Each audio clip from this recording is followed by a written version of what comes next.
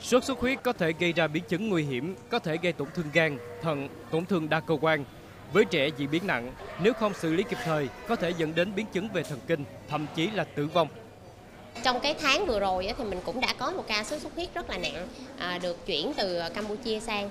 Thì đây là một bé gái 4 tuổi, à, bé có những cái triệu chứng sốt, à, mệt, lừ đừ. Tại địa phương thì bé người nhà thấy là bé có những biểu hiện có nguy cơ nặng hơn cho nên đi khám tại một phòng khám tư ở gần biên giới và được hướng dẫn là chuyển lên đến Nhi đồng 2. Thì tại Nhi đồng 2 thì bé đã có biểu hiện sốc, tổn thương ờ, gan, thận, tim. Hiện tại sốt xuất huyết vẫn chưa có vaccine đặc hiệu trong cộng đồng. Vì thế, việc chủ động phòng ngừa chính vẫn là tiêu diệt mũi, phòng tránh mũi đốt và tiêu diệt lăng quăng, bọ gậy.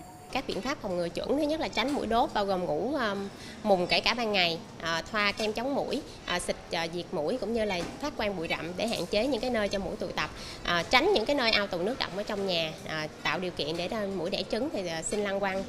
Nếu nơi sinh sống có ao hồ nên nuôi cá để tiêu diệt lăng quăng, sử dụng muối, hóa chất tiêu diệt lăng quăng, hạn chế dụng cụ tôn động nước không cần thiết để tránh cho lăng quăng phát triển.